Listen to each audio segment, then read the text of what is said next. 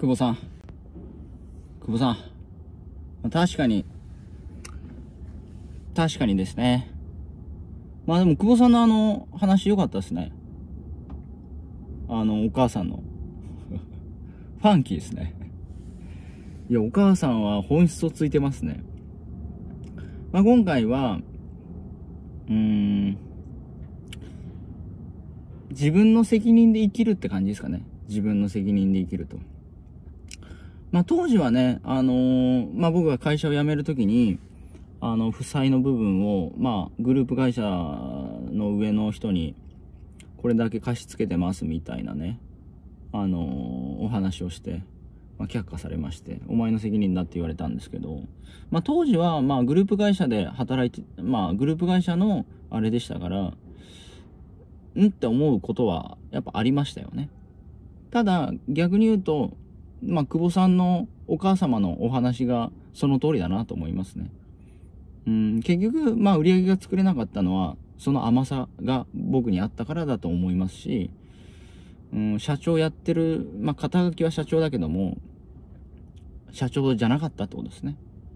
うん、だからまあ、良くなかったのがやっぱ、うん、エスカレーターでね、まあ上に登ってったっていうね、自分で、その、会社名考えて、自分で税理士さんとかね、司法書士探して、自分で起業したわけじゃなかったんで、やっぱそこの甘さが出たなっていうところですよね。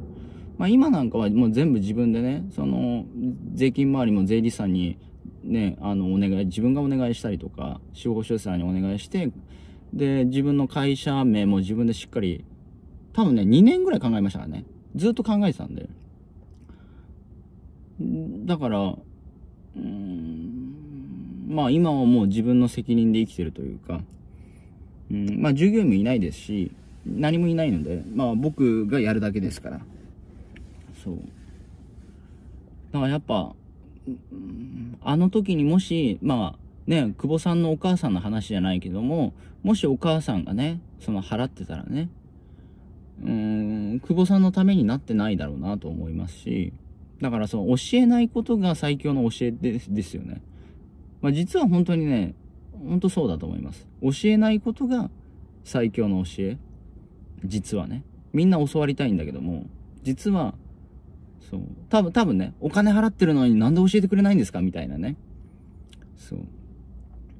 なんかよくあの、ドラゴンボールの修行の時もそうで、亀仙人はただ見てるだけみたいなね。亀仙人ただ見てるだけみたいな。師匠さんいつずっと走ってるみたいなね。悟空とクリリンがずっと走ってるみたいな。いつこれ教えてくれるんすか？みたいな。で、気づいたらね、そうそう、気づいたら、あの、その修行の中に実はその学びがあって、もうレベルアップお前らもうしてるぜ、みたいな。俺が教えなくてももうお前らもうレベルアップしてるぞ、みたいな。あ、本当だみたいなね。まあそういうシーンがありましたけど、教えないことが教えっていうのはね、結構まあ、上級ですよね。うん。でもまあ、間違いないなと思いますね。うん。でもみんな教わりたいっていうね、このジレンマですね。うん。結局一番の学びって何かっていうと、自分で自ら学んだことが一番の学びであって、人から教わったことっていうのは結局人から教わったものに過ぎなくて、もちろんヒントは必要なんだけども、うーん、結局自分の人生は自分で歩くわけですから、教えた、教えてくれてる人がね、あなたの人生を歩むわけではないですから。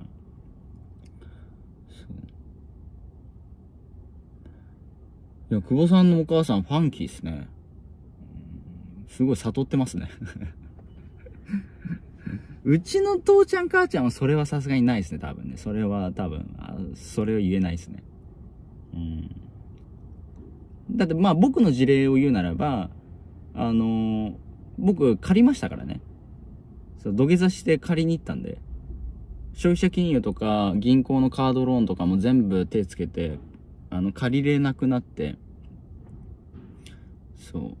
で、まあ、闇金行こうかなと思ったんですけど、闇金行く前に親行って土下座して借りましたけど、まあ、その時にね、土下座して借りに行った時に言われなかったっすもん、それは。それはお前、お前社長やってんだからお前の責任だろと。こっちは責任取らんと。お前が何とかしろと。闇金でもどっかでも行って借りてこいと。って言われなかったんで。うん、でも逆に言うと、逆に言うと、でもあれをもし貸してくれなかったら、もしかしたら僕、やばいとこ行ってたかもしれないんで、うん、まあ、結果はどうなってたかわかんないですけどね。あの時は本当にでも、ありがたかったですね。でも本当に僕はあの、言ってましたよ、多分。闇金とか、ちょっと、こっち系から借りてたと思いますよ。だって借りるとこないんだから、闇から借りるしかないじゃないですか。うん。だそうなってたらどうなってたんだろうな。うん。まあ今ないかもしれないですね。まあでもありがたいですよね。それはありがたかったですね、僕は。だけどもう、もう、もうね、あの、することはないですけど、そういうことは。うん。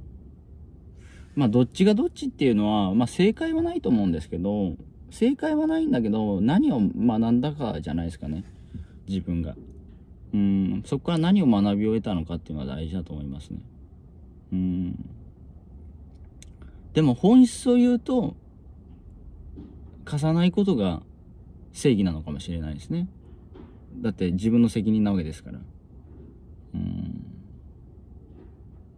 でもあの時はね、助かりましたね。うちもお金ないのにしお金ないのに知ってますけども、まあどうしようもなんなかったから。まあまあ僕がね、まあ上に相談しとけばいいんだけども、まあそれもなんか責任だから相談もできないっていうか、自分で抱え込んで悩んで借り入れしまくって、もう後もこうもないみたいなね。だまあ言われたのが、まあ、早く相談しろよって言われたんですけどね。まあ、まあそ、その通りかもしれないですよね。うん。でもまあ、相談できないですよね。なかなか いやー、これはね、結果論ですから、まあ何が正しいのかわかんないですけど、まあ久保さんのそのお母さんの話はね、すごくいい話だなと思いますね。うん。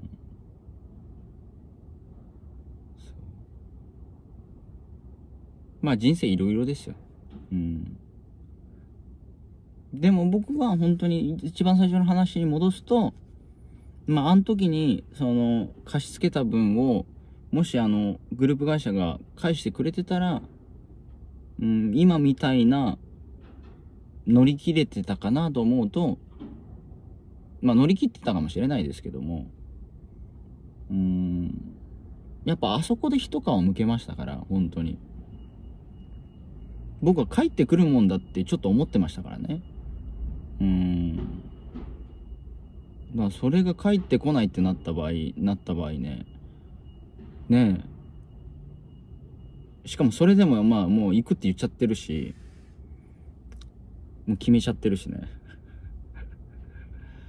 や、や、最初の事務所の20万も払えねえどうするみたいな話ですよね。それが戻ってくる予定で独立するみたいな話も、あの、僕の中で予定調はあったんで、1円も戻ってこなく、マイナスじゃないですか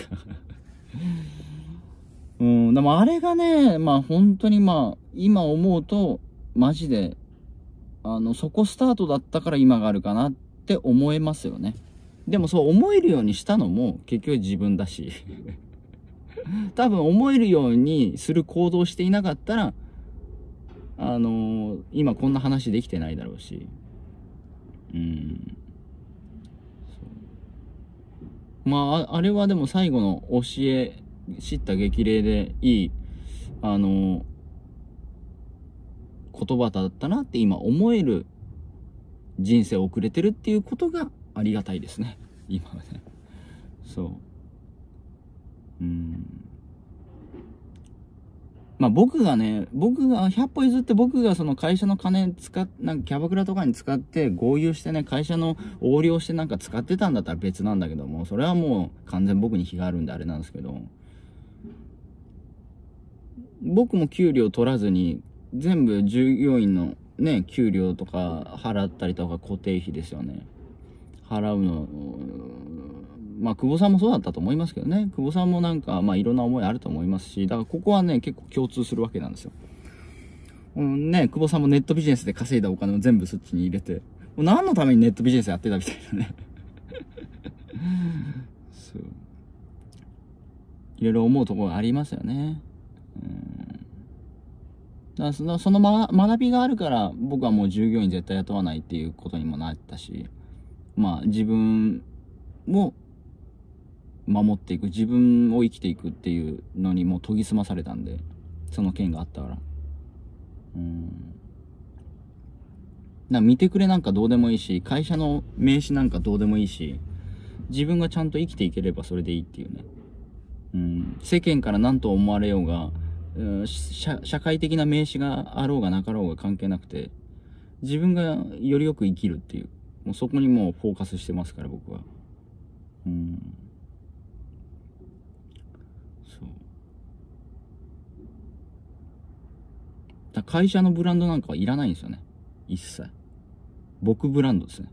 僕が生きる僕が生きてる限り僕ブランドみたいなね。で僕が死んだらもうブランド終わりってみたいなね。